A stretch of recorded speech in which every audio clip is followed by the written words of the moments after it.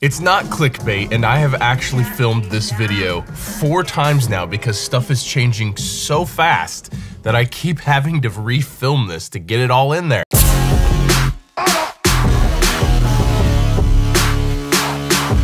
Okay, so these changes coming are going to impact every single one of us artists, producers, mix engineers, mastering engineers, all of us. And I think it's really important that we are on top of this and that the correct information gets distributed so that way we can all shift with these crazy changes in the most efficient way possible and keep the music as high a quality as humanly possible. One year ago, I did my first video on Atmos at Sweetwater in Studio B. It was a mind bending experience, a full body, immersive musical experience unlike anything I've ever had in my whole life, and it broke my brain. Now, in the time since I filmed that video, I've been watching this Atmos thing evolve. Cadillac, BMW, Mercedes, like all of these car companies are putting Atmos in their cars. My TV over here in the lounge has Atmos in it. When I hung the TV up, it said, We need to calibrate your room. And it goes,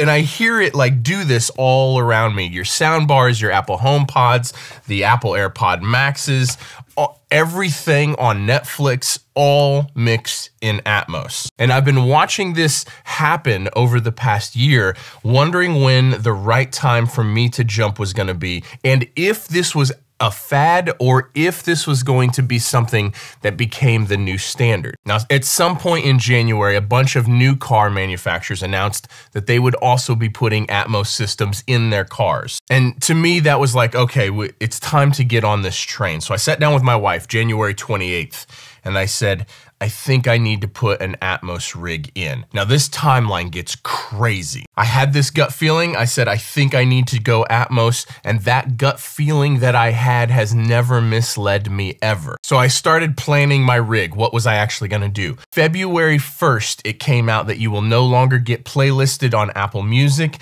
unless you submit your music in Atmos. Now, this is a huge deal for independent artists. We're gonna talk more about that in other videos, so make sure you subscribe and hit the bell tab next to the subscribe tab because there's a lot that's going to change really fast for all of us. February 1st, we found out you would no longer get playlisted if you didn't submit in Atmos. February 4th, my first client requests everything we're doing in Atmos. February 6th, my second client requests it. And February 7th, my third client requested it. Just fell like dominoes. Instantly, everyone, I need Atmos for all of my music right now. This is the situation I was trying to avoid. I wanted my rig in and to be ahead of this curve. I didn't want to have to farm out my Atmos mixing, which is currently what I'm actually doing. But then the question was until Spotify responds to this, this is just an Apple Music thing. So how long will it be before Spotify responds to this? Because Apple Music and Spotify both have to be on board with this before it can become the actual standard for the music industry. Yesterday, it came out in an article that Spotify has an Atmos studio and they are building Atmos studios. That's it that it's game over. Atmos is the standard moving forward. Now, I'm a little bit bummed about the technical side of it in terms of like the monetary investment that a lot of us are going to have to do. We're going to get into all of this stuff, so make sure you stay tuned and make sure you follow up on future videos because we're going to do an entire Atmos series on everything of like what is it, what's it mean, how to choose your rig, how to install it, how to tune the room, mix best mix practices, all that kind of stuff. So make sure you subscribe because this is going to affect every single one of us. Now, I can hear a whole bunch of you saying, well, how am I supposed to afford to put an Atmos rig in? And I feel you, and I'm going to do my very best throughout these videos to steer you in the right direction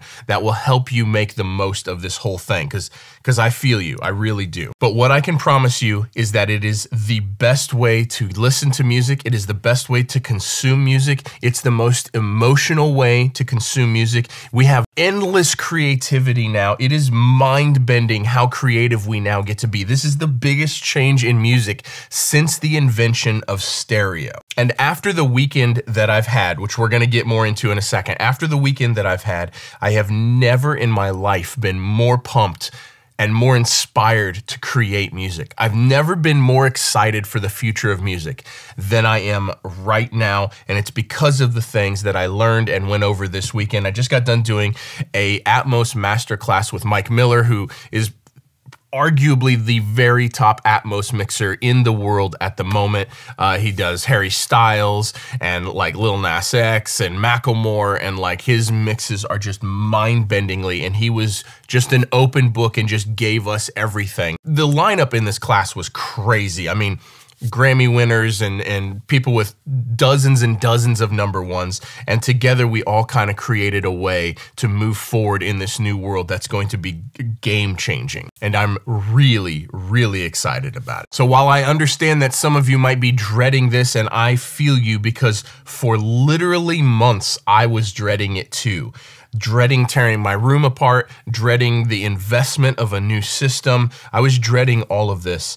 And now my perspective is completely switched, and I'm so pumped so so pumped for the future of music. I, I, I can't explain to you guys how excited I am. So I think the important thing one is that you want to future proof yourself with doing as much in Atmos as you possibly can. If you're a serious artist releasing serious music, working on a serious career, or if you're producer or a mixer that works with artists that are very very serious and like attempting to make a real career at this or have a real career at this, it's going to be really important for us to do everything in Atmos from here on out. And even if you don't have the ability to put your own rig in or it's going to take some time to save up or plan for it, make sure that you get the stuff mixed in Atmos. It's I do genuinely believe it's going to be the future. You want to future-proof yourself and uh, this is this is a big, big deal. Okay, so Sweetwater just put a new Atmos rig in their Studio C that is gonna be really, really similar to what I'm going to put in here. So let's go to Sweetwater and let's take a look at that rig. Here we go.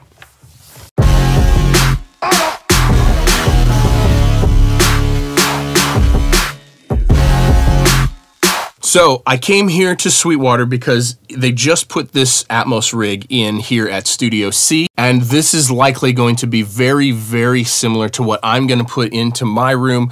And so since they just did this, and since I work so closely with Sweetwater, I said, hey, can, can I come out and, and check that rig out before I go through all of this installing more or less this same rig in my room. So I'm going to show you around the room here in a second, uh, but Sweetwater now has two Atmos rooms. They have this room, which is all Focal Solo 6s, and then they have another whole Atmos room in their Studio B. Both rooms sound incredible. So I'll put a link down below to the Sweetwater Studio website if you want to come here, track your next record, uh, come here to mix your record in Atmos, or hire one of the people here to mix your music in Atmos. You can find all that info in the link down below. And don't forget to hit them up on Instagram, the Sweetwater Studio Instagram. Let's take a look at this rig. Okay, so here is the rig right here. So basically what you've got is you've got a uh, right and a left, just like normal, and then Atmos adds the center channel and then adds height speakers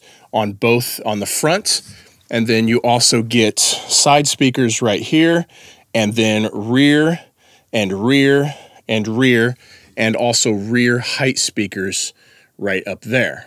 Now in this particular rig, you also have these width speakers here and here that just make things a little bit wider. And then also back in behind, you have two subwoofers. Now, like I said, this is likely going to be very similar to the rig that I'm gonna run. I'm probably going to run an Avid Matrix Studio with an HDX card uh, and Solo 6s. I will likely do Trio 11. Since I have Trio 11s for my left and my right, I will probably do another Trio 11 for the center. The entire rest of the rig will be all solo sixes. That's what I'm thinking. So, so I'm going to take a listen here and get to know this rig while I'm here. Okay, so this is what the mixes look like in Atmos. So these are all objects and this is automation that's panning all of these things around as they're playing back. So right now, all of these things are objects that are panned in different locations around the room. And you can see stuff appear and disappear and move and, and automation will pan stuff like these right here. So that sound is panning from beside you to above you and vice versa. Super cool. These, these would be your height speakers. So this is your rear height speakers. These are your front height speakers. And then these would be objects that are all panned around you in surround sound. And you can pan anything in this 360 degree space. You can see those things are moving right now, eh, which is this is why I'm so excited about the creative side of this. I'm so, so, so excited to work in this environment and, and have the most creative freedom I've ever had in mixing. Oh, that's super dope. Wow. That delay guitar is just swirling all around. That low when it hits that low note. Yeah, there's bass management oh. on the. Well, this room sounds absolutely incredible. I'm I'm really pumped. I'm really glad that I was able to come here and check this out for myself before committing to this rig.